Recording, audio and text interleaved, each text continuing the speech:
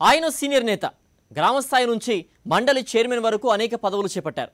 కానీ ఒక్క అవకాశం కోసం ఎన్నో ఏళ్ళుగా ఎదురు చూస్తూనే ఉన్నారు. ఒక్క అవకాశం ఒకే ఒక్క అవకాశం అంటూ నిరీక్షిస్తూనే ఉన్నారు. మరి ఆయన కలలు కన్నా ఆ పదవి ఈసారైనా వస్తుందా? ఇంతకీ ఎవరనైతా ఏంటా కథా కమామిషు?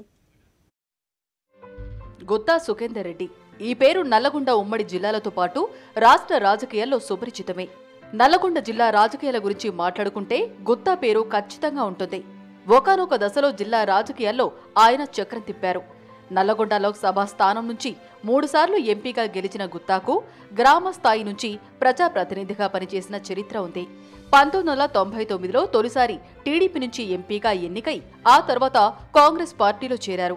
రెండు వేల తొమ్మిదిలో కాంగ్రెస్ పార్టీ నుంచి మరోసారి ఎంపీగా ఎన్నికయ్యారు. రెండు వేల పద్నాలుగులో ముచ్చటగా మూడోసారి ఎంపీగా గెలిచిన సుఖేందర్ రెడ్డి టీఆర్ఎస్లో చేరిపోయారు. ఆ తర్వాత రెండు వేల పంతొమ్మిదిలో ఎమ్మెల్యే కోటాలో ఎమ్మెల్సీగా ఎన్నికయ్యారు. అప్పటి వరకు మండలి చైర్మన్గా పనిచేసిన స్వామి గౌడ్ పదవీకాలం ముగియడంతో రెండు వేల పంతొమ్మిది సెప్టెంబర్ పదకొండున గుత్తా మండలి చైర్మన్ అయ్యారు.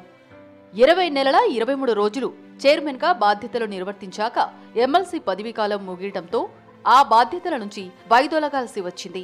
అయితే స్వల్పకాలమే ఎమ్మెల్సీగా కొనసాగిన గుత్తాకు మరోసారి ఛాన్స్ గ్యారంటీ అని అనే ప్రచారం టీఆర్ఎస్ వర్గాల్లో జరుగుతోంది.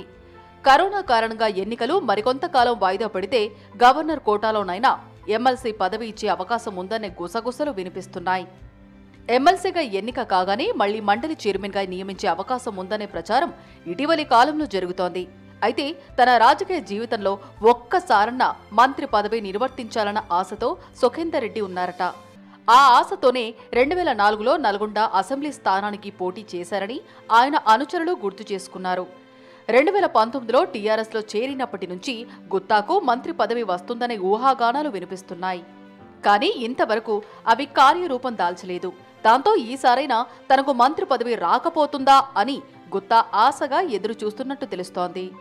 ఈటెల రాజేందర్ బర్తరఫ్ నేపథ్యంలో త్వరలో మంత్రివర్గ విస్తరణ జరుగుతుందనే ప్రచారం ఎప్పటి నుంచో ఉంది. రెండు వేల ఇరవై మూడు ఎన్నికల నేపథ్యంలో కొందరిని కేబినెట్ నుంచి తొలగించడమే కాకుండా మరికొందరి శాఖలు మార్చే అవకాశం ఉందనే ప్రచారం ఇటీవలి కాలంలో ఊపందుకుంది. ఆ విస్తరణలో గుత్తాకు మంత్రి పదవి వచ్చే ఛాన్స్ ఉందని అంటున్నారు. అది కాకుంటే మండలి చైర్మన్ పదవి గ్యారంటీ అని టీఆర్ఎస్ వర్గాల్లో చర్చ జరుగుతోంది. ఇంతకీ నల్గొండ రాజకీయ కురువృద్ధుడి కళ నెరవేరబోతుందా? లేక మరోసారి మండలి చైర్మన్గా ఎన్నికై పెద్దల సభలో కొలువు తీరుతారా అనే దానిపై ఉత్కంఠ నెలకొంది.